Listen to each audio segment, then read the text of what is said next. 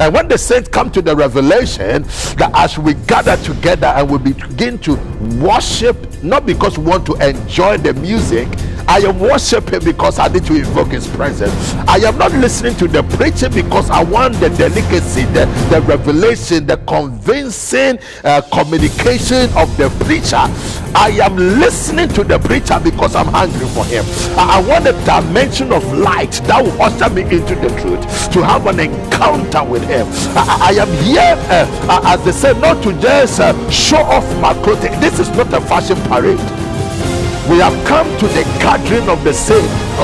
The gathering of the people shall be until Shiloh come with that reverence. I come with that acknowledgement. I come with that determination because whatever breakthrough I could not get at home, whatever experiences that I cannot uh, uh, invoke at home, whatever challenges I could not overcome, let me just get into the saints.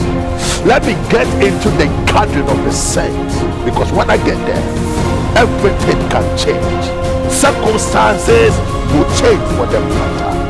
The Bible says when we come to Zion, when we come to the manifested presence of God, the gathering of the saints, you shall now receive deliverance and you shall possess your possession